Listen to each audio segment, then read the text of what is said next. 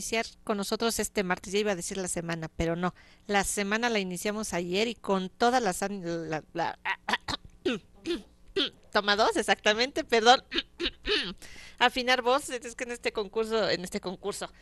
No, pues sí, en este programa de oratoria, eh, ay, hasta los nervios me salen a flote. Vean, vean cómo me ponen. Soy Joe Armenta y me da muchísimo gusto estar con ustedes. Pues hoy tenemos a dos escuelas, dos escuelas, un alumno cada. No, no son alumnos ya de las escuelas. Una todavía es la alumna y otro es exalumno, que tres años estuvo. Ahí les digo, perdón, perdón este, que tres años estuvo en estos concursos de oratoria. Bienvenidos a su programa en voz clara y empiezo presentando a las niñas. Empiezo presentando a la técnica número dos. Está con nosotros Camila del Pilar Gutiérrez Lara, de tercer año. Camila, bienvenida, ¿cómo estás? Bien, gracias. Gracias por estar aquí en el programa y pues un poco nerviosa. Más o menos ahorita se te quitan los nervios, tú no te preocupes. Y la maestra, la maestra María de Lourdes López García, de formación cívica y ética. Bienvenida, maestra, buenos días. Buenos días. Mucho gusto de estar aquí. No, y qué bueno porque pues nos van a decir todas sus experiencias, nos vas a decir todo lo que ha pasado, cómo ha sido este proceso, cómo ha sido este camino, si ha sido largo, si ha sido tortuoso, si ha sido fácil, Tú nos vas a decir ahorita cómo está el asunto. ¿No? no tanto, pero. Pero sí.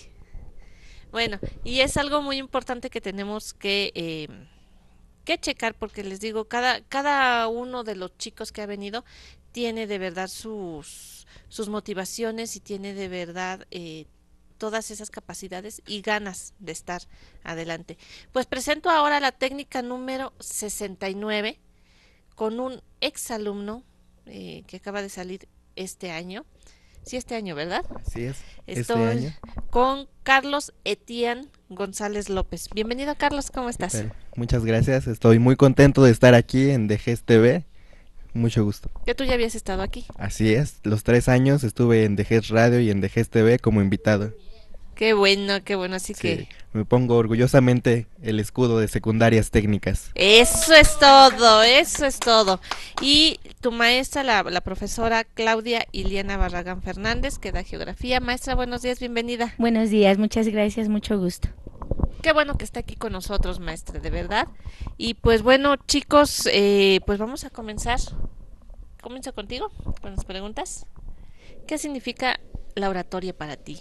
Camila? Ah, pues para mí la oratoria significa expresar lo que se piensa acerca de un, de un tema específico, los argumentos que como persona se pueden dar.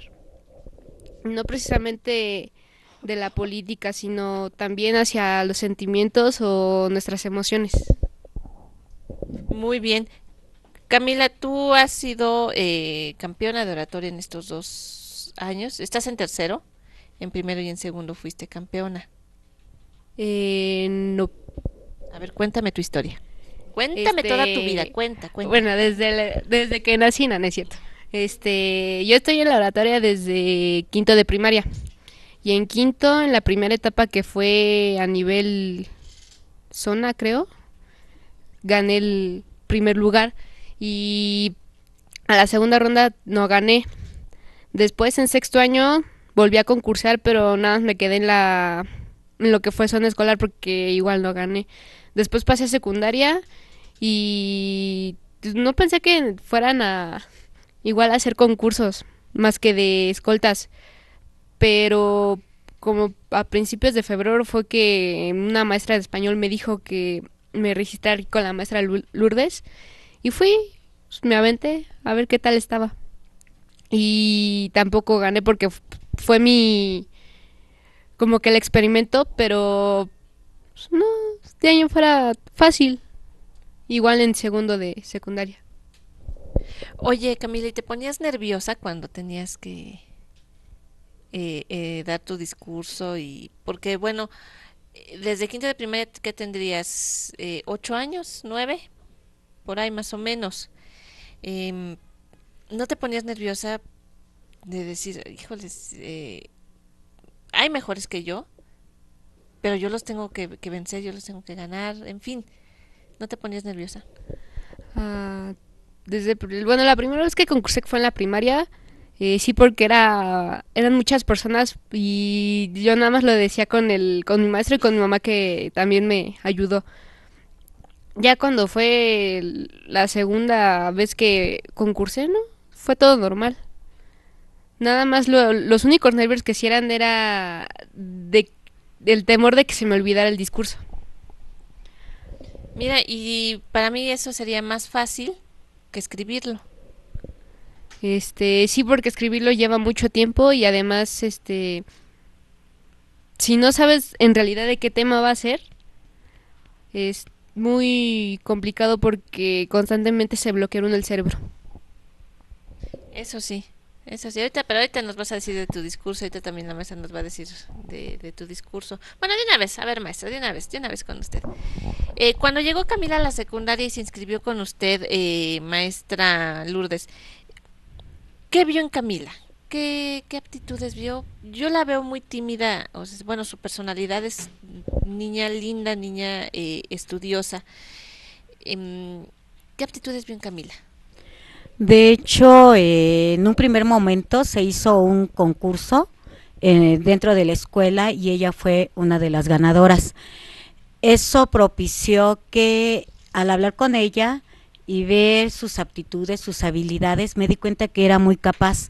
Es seria, es cierto, eh, quizás este aparenta no, no expresar sus emociones, su manera de sentir, pero al momento en que ella se pone eh, en un lugar para decirlo, para expresarlo, para hablarlo, en ese momento se transforma y realmente se convierte en otra en otra que incluso a la hora de modular su voz, al hacer las altas y bajas, etcétera, o sea, es diferente a como la vemos ahorita en realidad y de hecho así ha sido.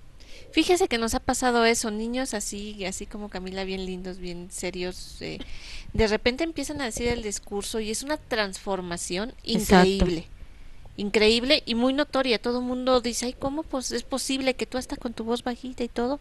De repente el discurso y hasta eh, te, te, te exaltas. Es, es muy, muy notorio eso. De hecho, ella tiene una voz muy, muy fuerte. Incluso cuando ensayábamos, lo hacíamos en el patio de la escuela y se alcanzaba a escuchar por, por todos lados, ¿no? O sea, hasta la dirección luego salían y así como que, ¿quién está hablando? Y, y la verdad sí impacta su voz. Tiene una voz muy bonita, muy modulada. Sí sabe manejar las altas y bajas. O sea, sí. Maestra, ¿y qué fue lo, fue lo difícil del, del discurso? Eh, creo que el discurso no ha sido difícil. Lo que ha sido difícil para nosotros, y yo creo que les pasa mucho a los profesores en escuelas secundarias técnicas, que luego a veces los tiempos nos ganan por la carga de trabajo, por los tiempos también de ellos. A veces, una que otra vez la vi en, en un fin de semana, pero sí es la carga de trabajo, porque bueno, tenemos otras actividades uno quisiera darles más tiempo, pero a veces es lo único, como que siento que por ahí, al menos eh, en nuestro caso es lo que nos pasó, pero aún así el tiempo que teníamos para ensayar se hacía, porque también no hay que cansarlos mucho, ¿eh? también eso de que estén horas y horas y horas tampoco, tampoco es bueno porque luego pues en vez de que le tomen amor, como que se cansan, ¿no? Y no se trata de eso, se trata de que lo disfruten, de que lo digan, de que lo expresen, de que lo sientan. Claro, claro, exactamente. Pues ahora, a ver, ahorita que nos des el discurso, a ver, a ver qué tal. Bueno, voy con el único chico, voy con los chicos, el único chico aquí. Carlos. chicos guapos. Chicos guapos, eh, eh, poquito vanidoso. Eh, eh, por si, exactamente, por si no nos hemos dado cuenta, Carlos, eh, pues tú ya no eres alumno. Así es, ya soy exalumno, pero aún así es un gusto estar aquí porque yo me identifiqué en mis tres años. Es un gusto, yo me siento muy identificado con secundarias técnicas porque fue un motivo para salir adelante, me motivaron mucho en mi secundaria Y bueno, los concursos nos impulsan a ya no ser esas personas, ya no ser de las personas que son conformistas, sino salir adelante, tener una mentalidad positiva, no ser del sector que está enajenado por los medios de comunicación.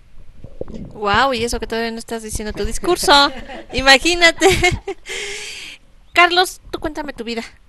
Ah, Todo comenzó en mil... no, es cierto, ¿verdad? Eh, desde los concursos, ¿desde cuándo descubriste que te gustó la oratoria? ¿Qué hiciste? ¿Qué dijiste? cuenta, cuenta. En primer grado de secundaria, bueno, yo comencé con declamación.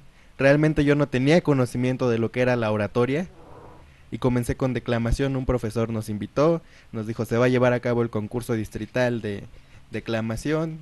En ese concurso no gané, aquí la profesora Iliana fue jurado y al verme en tribuna, al verme declamar, me dijo, oye, también tienes talento para la oratoria. Y yo le dije, sí, maestra, pero ¿qué es la oratoria, no? Y ya me dijo, es el arte de hablar en público y me dio la definición. Dijo, ¿estás de acuerdo en que participes en nuestro concurso interno? Dije, muy de acuerdo, profesora, voy a hacer mi mayor esfuerzo.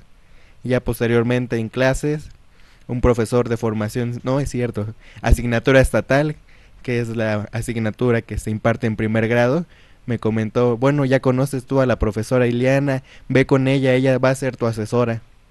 Y así fue, se desarrolló el concurso interno dentro del plantel, fuimos dos alumnos los ganadores, en primer grado yo representé a la secundaria técnica 69 en el concurso Benito Juárez y mi compañera Ana Leslie en el distrital. Fue como que para foguearnos, para tener noción de lo que es la oratoria, estar en una tribuna y compartir ese sentir con tus compañeros. Muy bien, entonces fue en secundaria donde te integraste al mundo de los discursos. Así es, en segundo, pues seguimos trabajando. Eh, llegamos, también representé en el Benito Juárez en el concurso distrital.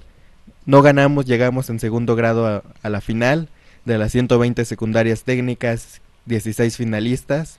Fue una gran alegría, fue una gran emoción cuando nos notificaron que llegamos a la final, improvisamos grandes oradores de la historia y pues fue otra experiencia porque fue mi segunda improvisación y realmente todavía tuvimos otro año para foguearnos en tercero de secundaria pues llegamos a la final muy emocionados pero ya teníamos la mentalidad vamos por un primer lugar ya tuvimos tres años de experiencia y es tiempo de ganar. Y así fue.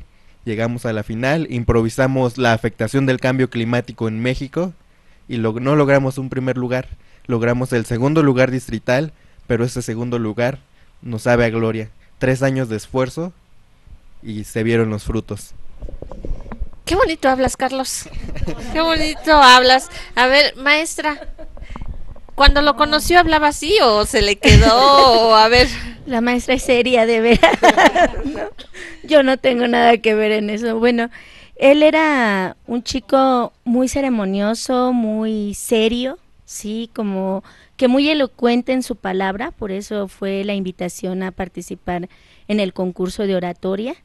Ha sido un chico muy mm, perseverante ante sus esfuerzos, ¿sí? En primer año él sentía que ganaba, también hemos tenido así como que unas altas y bajas en esos estados de ánimo y en esa seguridad que a veces le impacta demasiado a él, ¿no? Y entonces en primer año se autoflagelaba porque no había ganado el Benito Juárez, como ya lo dijo, él participa en el Benito Juárez, no, no gana y se autoflagelaba, se parecía que se regocijaba en su dolor, ¿sí? En segundo, vuelve a hacer el intento. A veces era difícil porque mucha gente lo felicitaba por la forma de expresarse, por la forma de desenvolverse, y sin embargo no había algún fruto como el que él quisiera, más que la más que el reconocimiento de los demás, ¿no? Y ya en tercero, pues él me dice, yo sigo, ¿no? Yo pensé que en tercero me, me iba a decir que ya no, porque pues venía el examen con mi PEMS, venía ya tratar de establecer bien su promedio y sin embargo él siguió adelante, ¿no? Con ello.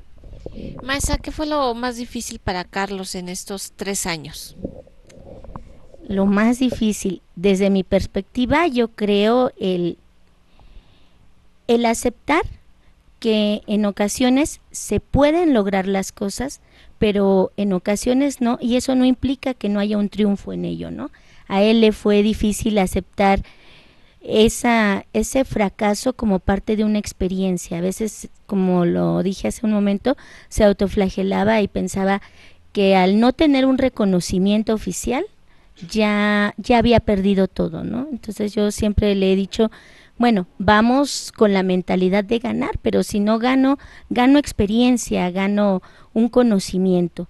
Eh, también fue difícil compaginar un poco eh, los conocimientos, ya que para, para poder improvisar él tenía que leer, ¿no? Es parte fundamental. Tal vez un, un discurso ya elaborado, ya armado, ya mecanizado, sea más fácil que un discurso improvisado, ¿no? Porque ahí es donde ellos, a la velocidad de la luz, digamos, tienen que estructurar su discurso. Es donde tienen, yo le decía, es aquí donde se demuestra realmente un orador, ¿no? Un orador se demuestra al poder improvisar. Y él no podemos decir que sea un chico serio. No, no es serio. Eh, tiene una cara muy formal, se ve incluso más, todo el mundo piensa que es mayor, ¿no? Sí. De hecho, en alguna de mis experiencias eh, con él fue que ya él empieza la oratoria en la técnica 69, pero se foguea hacia afuera de la técnica 69, ¿no? Él mismo buscó una beca en, en el TEC de Monterrey, ¿sí? anduvimos de cooperacha en la escuela para poderle ayudar un poco con estos gastos, con este entusiasmo que él tenía. Y sí, eso es lo que, lo que ha sido. No es serio, no es tímido, como pueden darse cuenta. Pareciera que sí, pero ah, le decía yo, la experiencia es que al verlo con traje, la gente siempre dice que es una persona mayor incluso, Sí, de hecho. Ojalá y que cuando tengas 40 te digan lo contrario, que te ves como de 20. pues bueno, chicos, ¿qué les parece si vemos, escuchamos un poco sus discursos? ¿Quiere, ¿Quieres empezar tú? ¿O le dejamos a Carlos? Que... Ah, le dejamos el turno a Carlos. ¿A Carlos primero? Ay, anda, Carlos, anda, ahorita, ahorita va a decir, ay no, y se muerde el rebozo, te presto el rebozo si quieres. Eh, un, poquito de, de, tus discursos, bueno, que ya vimos cómo hablas, que no fue discurso y que sin embargo hablabas, hablas muy bonito.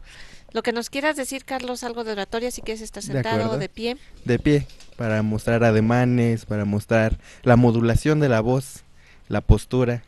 ok, Carlos. El escenario todo tuyo. Un momento, porque este, nos decían que este sillón es como personas.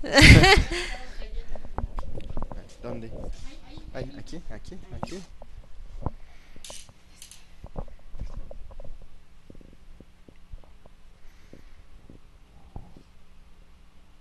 Buenos días a todos nuestros televidentes, hermanos de sangre técnica, que amablemente sintonizan de GESTV. Como ya me han presentado, mi nombre es Carlos Etián González López. Junto a mi pecho, porté orgullosamente el escudo de la Escuela Secundaria Técnica número 69, Ingeniero César Uscanga Uscanga. La oratoria es, de acuerdo a una definición superficial, el arte de hablar ante un público con la finalidad de educar, convencer e informar a un auditorio. Por tanto, un orador, concordando con la definición de Catón, es vir bonus peritus dicendi que significa un hombre bueno, experto en el decir. La oratoria no es hablar sin ton ni son, es vivir la palabra, hacer suyo el contexto de un momento para transmitir esa vivencia a un grupo de personas capaces de criticar, pero sobre todo analizar.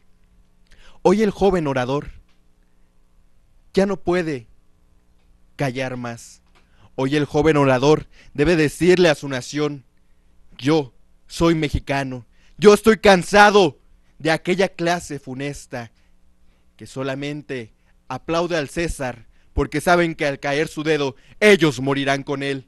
Hoy el orador debe hacer suyas las tribunas de todo nuestro país, debe hacer suya la Asamblea Legislativa, pues solamente al escuchar nuestra voz, nuestra nación será una nación primermundista Es tiempo de que México se levante a través de nosotros, sus jóvenes, a los cuatro puntos cardinales de la tierra.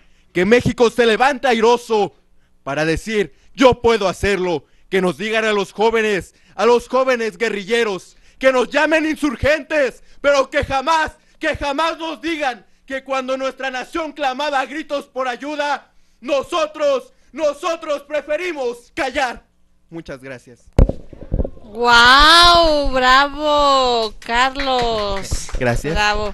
Gracias. Ya están muchas escuelas también conectadas viéndonos y están ansiosas con los comentarios, pero este eh, los vale Susi, pero espérame, espérame. Primero el discurso con, con ella, también para que te hagan comentarios de tu discurso y, y ya y contestamos Bueno, preguntas, ¿sale? aquí, me Este, este, a ver, ahorita, ahorita te ponemos en cámara. Sí, sí, sí, dinos. Ah, bueno, comentar que esto fue una improvisación.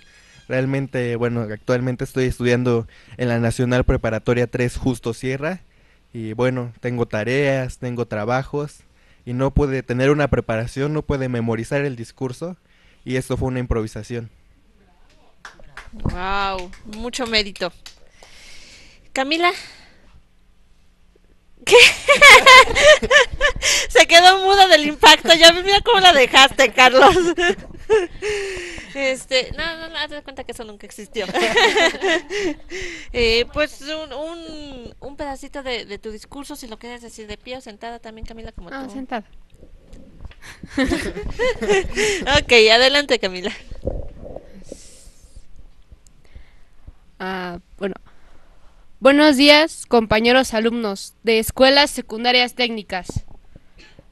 Mi nombre es Camila del Pilar Gutiérrez Lara y vengo representando orgullosamente a la Escuela Secundaria Técnica número 2, Corregidora de Querétaro, con mi tema Los niños de México.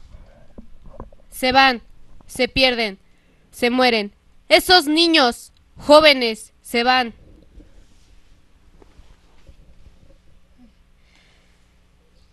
niños de la calle que no tienen derecho a estudiar sin razón, que les hace falta la ayuda de la gente, no pueden estudiar. Nosotros como mexicanos no estamos apoyando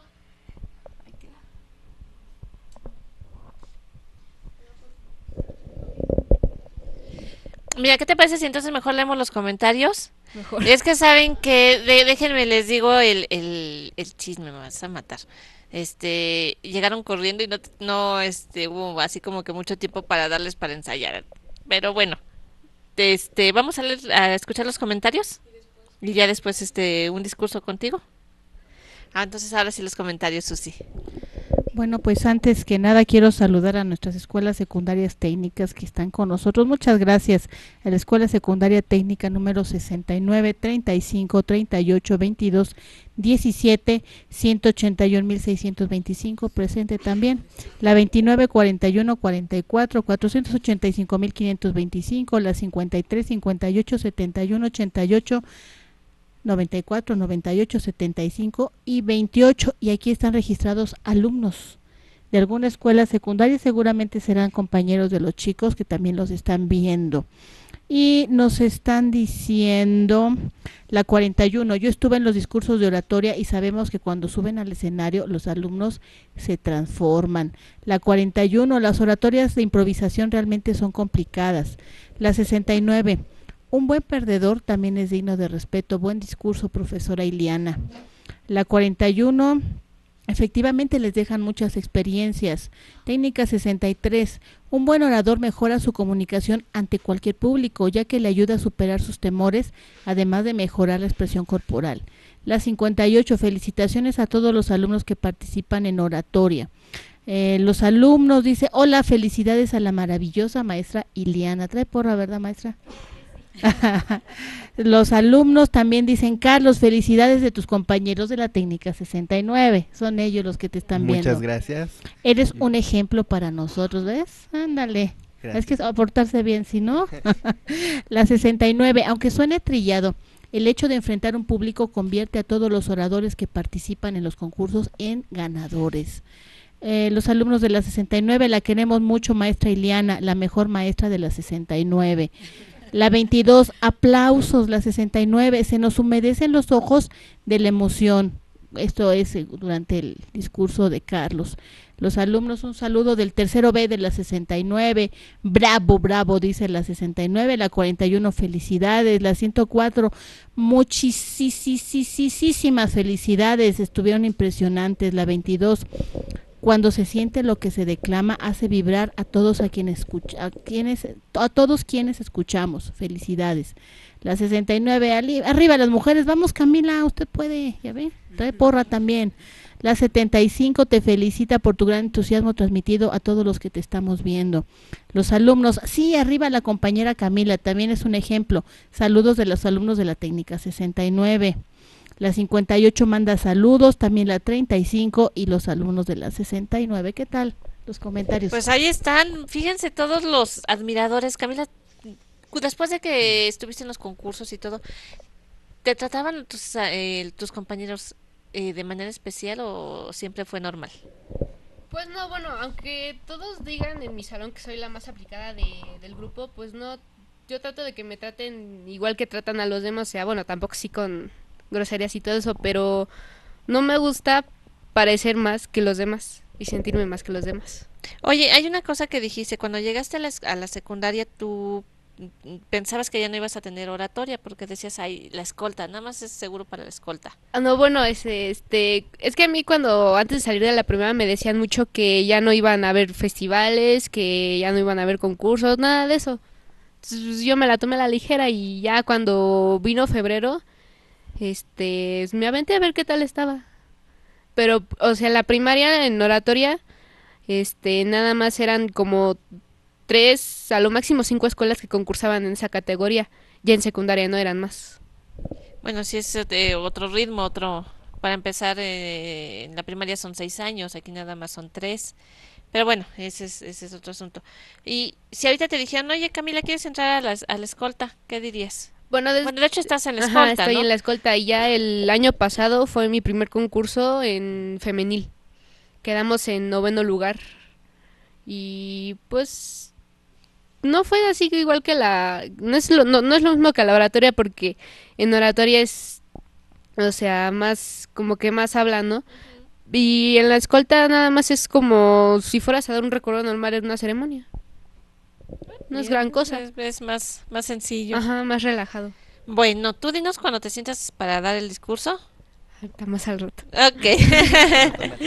este y Adelante, Carlos, adelante. Bueno, de antemano, muchas gracias a todos los que escucharon el discurso, a todos los que nos están sintonizando.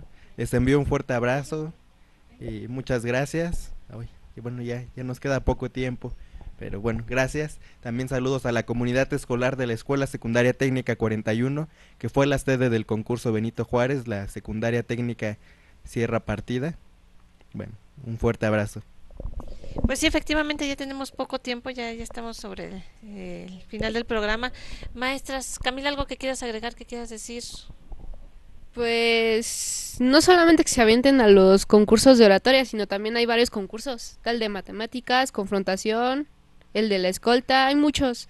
Y no, este, arriesguense, aviéntense para, no tengan miedo a nada.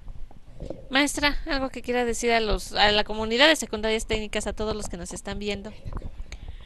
Definitivamente eh, la oratoria es una forma de expresión de cada ser humano y de alguna manera esto de, participar ojalá motive a, las, a los demás alumnos para que continúen, porque además la oratoria sirve para formar la personalidad, eh, ayuda a, digamos, a expresarse de una manera en la cual los demás entiendan lo que tú dices, pero sobre todo a decir tus emociones y a impactar a los demás y que lo sientan y que lo, lo tengan presente eh, para que de alguna manera los que llevan a cabo este o, o realizan o, o este, participan en concursos de oratoria, de veras que sí les forma la personalidad y hacen que sean personas mucho más capaces, sobre todo en el manejo de la palabra.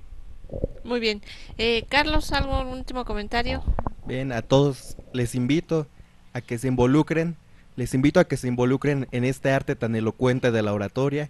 Este arte te hace un líder, te haces que sepas defenderte ante la vida, que te, te desarrolles de una forma mejor ante la sociedad. Y les invito porque también implica mucha responsabilidad porque la oratoria se encuentra en la mente. La oratoria es el deseo de salir adelante, de no ser conformistas.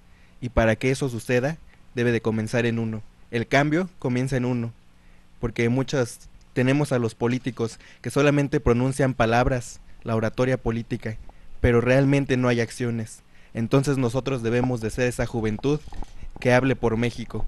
Debemos de involucrarnos en este arte y este arte involucra tiempo. Yo, bueno, me fogué en tres años y no es cosa fácil, pero tampoco imposible. Gracias, Carlos. Más, Eliana. Bien, pues ya me robaron todos, todas las palabras, ¿verdad? Invito a todos los chicos que están conectados a todas las escuelas a participar en los distintos concursos que oferta secundarias técnicas como parte del crecimiento personal de cada uno, pero sobre todo a la oratoria, ¿no? El arte de hablar que como bien decían es aquel arte que nos va a abrir las puertas, nos va a abrir las fronteras y nos va a permitir desarrollarnos como un ser intelectual integral. Gracias. Muchas gracias, gracias por haber estado aquí esta mañana. Gracias, de verdad. Y pues bueno, no se despeguen, todavía tenemos más aquí en DGSTV, también tenemos eh, en radio más actividades. Soy Joe Armenta y estamos aquí en DGSTV porque DGSTV te ve aprender vendiendo.